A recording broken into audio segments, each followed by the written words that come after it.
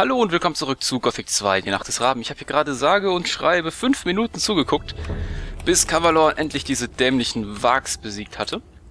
Und ich fürchte, ich hätte ihm eigentlich helfen sollen. Dafür bin ich allerdings derzeit noch viel zu schwach.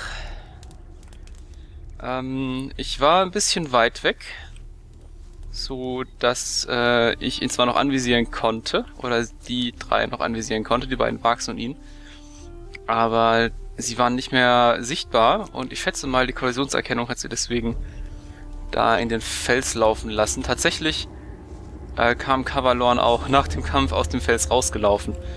Und hier ist so ein Suchender. Auf den habe ich gerade keine Lust. Aber mit Cavalorn will ich eine Runde quatschen. Ich war bei deiner Hütte im Minental. Sie steht also noch immer. Ja, und ich weiß jetzt auch, was du da wolltest. Hast du ihn gefunden? Wenn du deinen Beutel mit den Erzbrocken meinst. Ja, das habe ich. Du bist ein Fuchs, weißt du das? Was hättest du auch sonst bei der alten Bretterbude zu suchen? Da ist nichts mehr. Hast du ihn bei dir? Ich gebe dir 100 Goldmünzen dafür. Na klar, alter Freund. Sicher. Großartig. Ist zwar ein mieser Preis für einen Erzbrocken, aber hey. Warum hast du ihn eigentlich liegen lassen? Konnte doch keiner ahnen, dass das Erz hier in Korinis so wertvoll ist. Doch. Für einen schnöden Erzbrocken hast du in der Strafkolonie damals doch noch nicht mal einen Platz zum Schlafen gekriegt. In der Hafenstadt schlagen sie dir fast den Schädel ein, wenn sie mitkriegen, dass du Erz dabei hast. Ich will hoffen, dass ich ihn bald wiederkriege. Was zum Henker? Ge was zum Henker? Wa was? Was? Der, der ist da gerade ganz gemütlich vorbeigelaufen? Was zur Hölle? Äh, Moment. Und warum habe ich jetzt die Option, ihm für 100 Goldmünzen seinen Beutel wiederzugeben? Keine Ahnung. Ich dachte ich jetzt schon. Gib mir 100 Goldmünzen, dann gebe ich dir dein Erz zurück. Abgemacht. Hier hast du's. Du bist ein wahrer Freund. Besten Dank. Und ganz ehrlich, 100 Goldmünzen sind weniger wert als 500 Erfahrungspunkte. Damit habe ich jetzt schon fast Stufe 13. Ich habe 20 Lernpunkte. Das reicht für... Keine Ahnung, werde ich mal schauen. Muss ich mal schauen. Ähm... Ja, ne? Ich würde mal sagen, ich mache mich jetzt mal auf den Weg in die Stadt. Dann überbringe ich meine Beweise. Und als nächstes allerdings ähm, hatte ich mir überlegt, jetzt wo ich durchs Minental durch bin, will ich endlich mal in die Erweiterung gehen. Also nach Jakenda, zu den Piraten und so. Ich will gerade nochmal hier schauen, ob es hier was Neues gibt. Nope, alles beim Alten. Schade, schade, schade. Beim, äh, bei dem kleinen Tal hätte ich gerne auch nachgeguckt. Aber ich glaube, ich komme noch oft genug bei Xardas vorbei. Um das dann immer noch zu... Ach, Moment, das ist der Ausgang hier, ne? ja, okay, alles klar. Ich war gerade verwirrt. Ich dachte, ich dachte, es wäre hier eine Abzweigung und ich wäre rechts rumgelaufen. Naja, alles gut. Alles gut. Ich bin nur ein bisschen verwirrt. Nicht mehr als sonst. Nun gut, ab nach Koris und diesen dämlichen Suchenden ausweichen.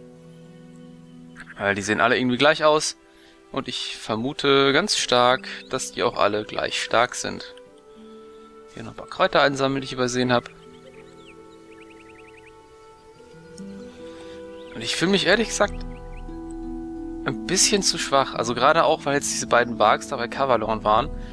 Das lässt mich doch stark vermuten, dass ich aus irgendeinem Grund schwächer bin, als ich sein sollte zu diesem Zeitpunkt. Von daher lasse ich mal diese Gelegenheit zum Training nicht links liegen.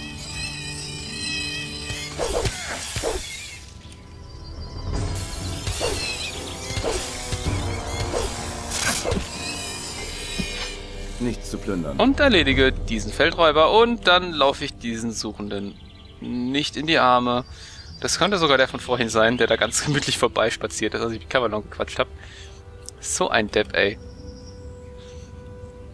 Ja, weil ich im Gespräch bin, ignoriert er mich, als wäre ich nichts wert. Da fühle ich mich gleich minderwertig. Hm, nee, eigentlich nicht. Bin ganz froh drüber. Gab es irgendwas Neues in den letzten Tagen? Geh doch einfach mal den Feldweg zur Stadt entlang. Wenn du einem Kerl mit einer schwarzen Kutte begegnest, dann weißt du, was es Neues gibt. Kerle in schwarzen Kutten. Wie geht's deinen Schafen? Als ob dich das interessieren würde. Du hast ganz andere Probleme. Woher willst du das wissen? Meine Probleme.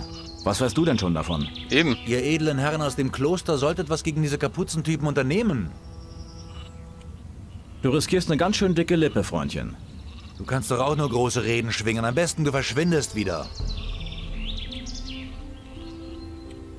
Reg dich nicht so auf. Hau schon ab. Der ist ja gut gelaunt. Ach, schön. Ich bin wieder hier in Korinis. Wieder aus dem Minental raus, zum zweiten Mal.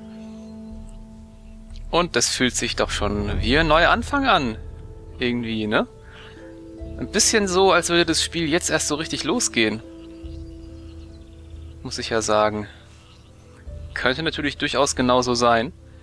Denn äh, nicht zuletzt habe ich ja im Minental... Ich weiß nicht, ob man das Minental so als Intro sehen kann. Nachdem ich mich jetzt auch endlich entschieden habe, was ich sein will und so. Kann man, glaube ich, schon so sehen. Äh, wie viel Uhr ist denn? Es ist mit... Hilda macht Mittagsschlaf. Okay. Ich suche den, den, den Bauern, nicht die Frau. Wo finde ich denn den? Hier drin wird er nicht sein bei den Knechten, ne? Nee, das wäre Unsinn. Das wäre sogar ziemlicher Unsinn. Da oben ist er auch nicht. Sag mal, ist er auf den Feldern vielleicht? Ja, wäre eigentlich naheliegend, ne? Für so einen Bauern. Bauer, Bauer. Lobart! Genau, da ist er doch. Hey, altes Haus. Wie geht's dir? Hey, du. Wie geht's deinem Hof? Es ist nicht mehr auszuhalten. Auf einmal sind überall diese schwarzen Kapuzenkerle aufgetaucht und haben sich an der Straße und auf meinem Hof postiert. Sie haben sich ziemlich lange mit Vino unterhalten. Und dann sind sie mit ihm verschwunden. Kurze Zeit später ist meine Frau wieder todkrank geworden. Sie liegt die meiste Zeit im Bett. Das hatte sie schon öfter. Ich drehe hier noch durch. Hast du mit den schwarzen Männern gesprochen? Sicher. Das ließ sich ja gar nicht verhindern. Ich glaube, sie suchen jemanden. Warum unternimmst du nichts gegen die schwarzen Männer? Würde ich ja liebend gerne tun, aber ich habe gesehen, wie sie einen Stadtbewohner bei lebendigem Leib verbrannt haben. Einfach so. Wozu soll ich mein Leben aufs Spiel setzen? Warum gehst du mit deiner Frau nicht zum Heiler? Dazu müssten wir zu Vatras in die Stadt gehen. Aber ich gehe hier keinen Meter von meinem Hof, solange hier so ein Chaos herrscht. Was wollten sie von Vino? Das sagten sie nicht. Sie haben ihn einfach mitgenommen. Wohin haben sie Vino verschleppt? Sie sind mit ihm den Hügel darauf. Den da? Ja, den da. Aber wenn ich mit einem Suchenden schon so massive Probleme hatte, werde ich hier mit so vielen ganz sicherlich nicht fertig werden. Die Frage ist nur, komme ich an Vino ran, ohne auf einen Suchenden zu stoßen? Und es sieht so aus, als könnte ich das tatsächlich tun. Von hier aus. Hey! Hey! Was ist los mit dir? Verdammt, verschwinde! Sie werden mich sonst noch töten. Ah! So viel dazu. Jetzt töten sie ihn, oder was? Nein! Nein! Wie? Die haben zielsuchende Geschosse. Das ist ja fies. Nein! Ihr dürft mich nicht töten. Das verbiete ich euch. Bei äh, Innos. Hinfort, böses Gesindel. Nein, werdet ihr nicht. Ich werde stärker werden und dann werde ich euch kriegen. So sieht's nämlich aus. Und jetzt kriege ich erstmal diesen Feldräuber.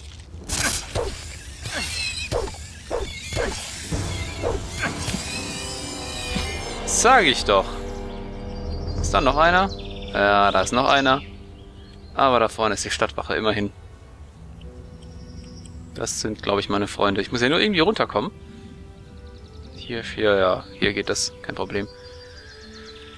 Ah, ja, Heilkräuter. Wie schön.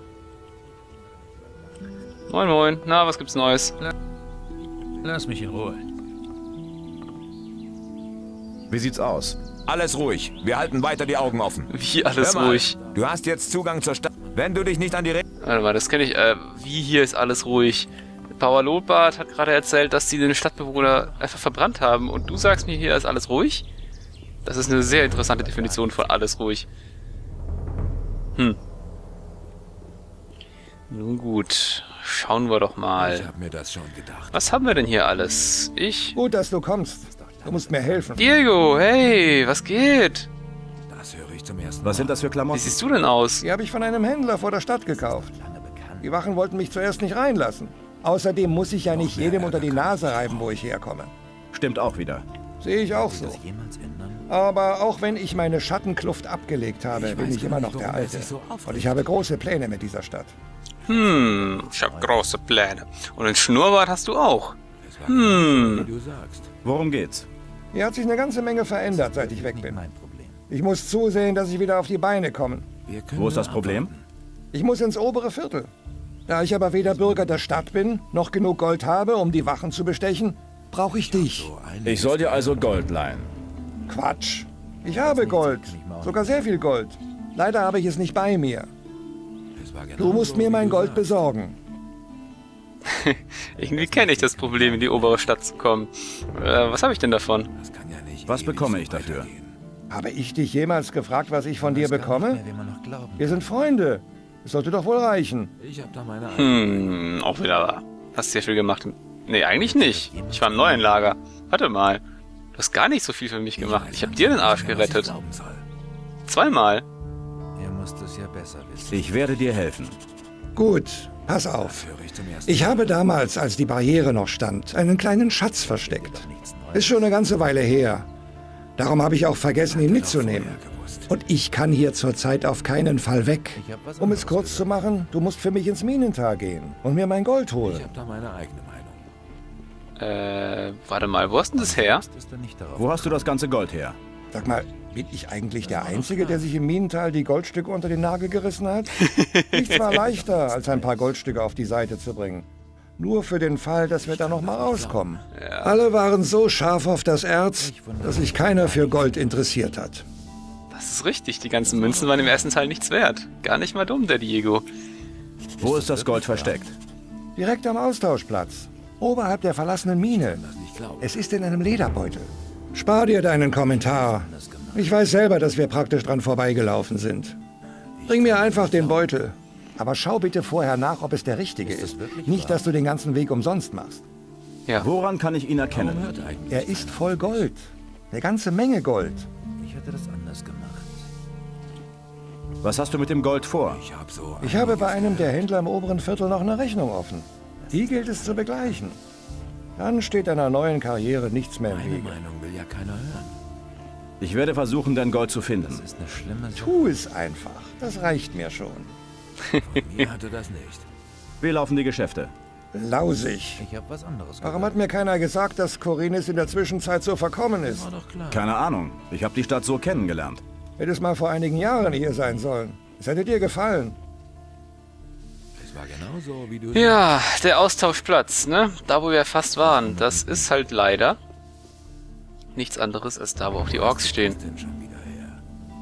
Ist dir irgendwas Aufregendes passiert? Die ganze Stadt spricht schon davon. Erinnerst du dich an Lothar, den Paladin? Kann sein. Jedenfalls ist er tot. Auf offener Straße ermordet. Natürlich gibt man den Söldnern die Schuld. Das hat er doch vorher gewusst. Wow, das war doch der, der mich hier belehrt hat. Über die Regeln in der Stadt und so. Wow. Dass der das abgekriegt und nicht abwehren konnte? Nicht übel. Nein, ich brauche keine Lederrüstung. Zeig mir deine Ware. Seit die Söldner den Paladin Lothar umgebracht haben, sind die Kontrollen der Paladine noch schärfer geworden. Ich hoffe, dass sich das legen wird, sobald sie den Mörder gehängt haben. Was hast du denn Feines? Ja, ein paar Fackeln brauche ich nicht, Besen brauche ich nicht, einen Heiltrank brauche ich nicht. Ach, puh, habe ich irgendwas zum Verticken eigentlich? Ja, so ein paar Sachen hier, so Kleinigkeiten, ne? Skelettknochenflügel. Aber eigentlich habe ich genug Gold. Ich brauche gerade das Gold ja nicht für irgendwas. Ähm... Degen der Banditen. Ja, das Breitschwert kannst du haben. Und die Bolzen kannst du haben. Jep, vielen Dank.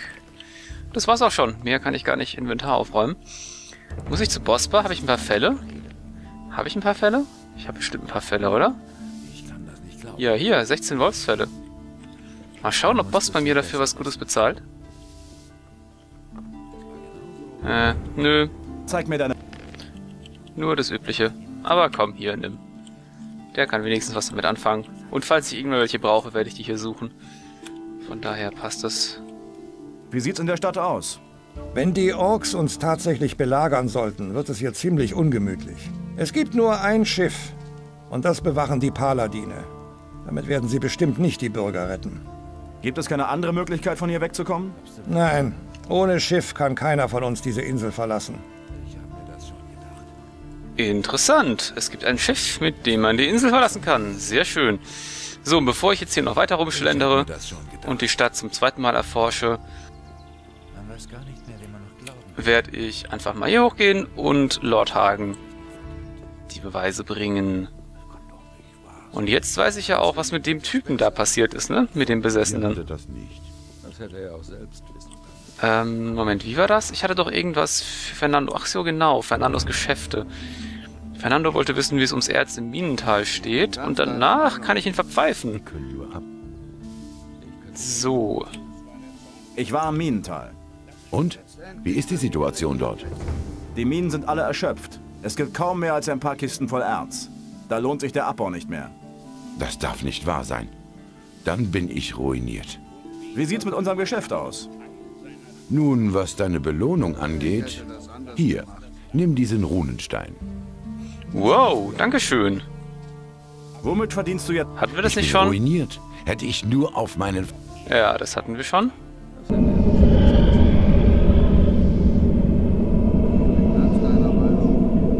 Wir sehen dich, Wurm. Du kannst uns nicht entkommen.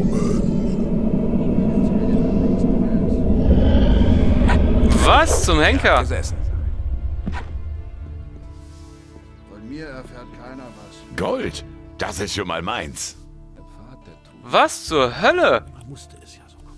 Ein Schlag, du Arsch. Und das war richtig viel Gold. Ich werde dich so fast von verpfeifen und dann werde ich dich verprügeln und dann werde ich dir das Gold wieder abnehmen. Von mir hat das nicht. Ich werde dich verpfeifen, dann bist du im Kerker und dann bringe ich dich um. Vergiss es, Mann. Damit kommst du nicht durch. Sieht, kann ich ihm auch nicht mehr 800 Gold hat er mir abgeschnappt. Ey, die Sau. Naja, erstmal zu Hagen hier. Oder? Kann ich denn, kann ich denn die Banditen-Quest noch machen, wenn ich das hier erledigt habe? Ich weiß es gar nicht. Hm. Ja, wird schon irgendwie passen. Ich speichere einfach mal vorher. Für alle Fälle. Und dann werden die aber sehen, was hier passiert. Ich bringe dir Nachricht von Garond. Hier, diese Zeilen hat er mir mitgegeben. Unsere Lage ist schlimmer, als ich befürchtet habe. Doch berichte du mir von der Situation im Minental. Die Paladine haben sich in der Burg des Minentals verschanzt und sind von Orks umzingelt. Die Schürferei hat viele Opfer gefordert und es gibt kaum noch Erz. Tja, ich würde sagen, ohne Hilfe sind die Jungs verloren. So sieht's aus. Ich werde einen Weg finden, diese Expedition zu retten. Du hast viel für uns getan. Inos wird dir danken. Ich bin weniger an seinem Dank interessiert als an seinem Auge. Ja, natürlich. Ich stehe zu meinem Wort. Nimm diesen Brief. Er wird dir die Klostertore öffnen. Sprich mit Pyrokar, dem obersten Feuermagier, und zeige ihm diese Ermächtigung. Er wird dir den Zugang zum Auge Inos gewähren. Eines noch, bevor du gehst. Nimm diese Rune zum Dank von mir. Sie wird dich sicher zurück in die Stadt bringen, wann immer du willst. Wie ist die Lage? Ich muss einen Weg finden, diese Expedition zu retten. Wir müssen etwas gegen die Drachen unternehmen. Vielleicht kann das Auge Inas uns jetzt alle retten. Ja, vielleicht. Hoffentlich. Streng genommen, hoffentlich. Nun gut, ich muss dringend eine Runde schlafen. Und ich bin sehr daran interessiert, wo mich diese Rune hinbringt. Ich schätze ja mal zum Hafen. Ja, da, war, da stand sie ja gerade. Da stand gerade zum Hafenviertel. So, Lares, ein letzter Test. Bringst Hey, du mich du. zur Erweiterung? Nein, tust du nicht. Bring mir was bei. Und so richtig was beibringen, was ich brauche, kannst du auch nicht. Also gut, dann werde ich jetzt eine Runde schlafen gehen. Und das tue ich am besten wo? Hm, da muss ich kurz nachdenken. Wo kann ich hier schlafen? Im Hotel könnte ich schlafen. Ähm, ich könnte... Warte mal, wenn ich, wenn ich schon hier bin, Ich weiß langsam nicht mehr, was ich glauben soll. werde ich nächstes Mal Taschendiebstahl, äh, nee, nee, Schlösserknacken lernen. Und jetzt bin ich aber erstmal raus für heute. Beziehungsweise für diese Folge. Vielen Dank, dass ihr zugeschaut habt. Und wir sehen uns dann hoffentlich wieder beim nächsten Mal. Bis dahin.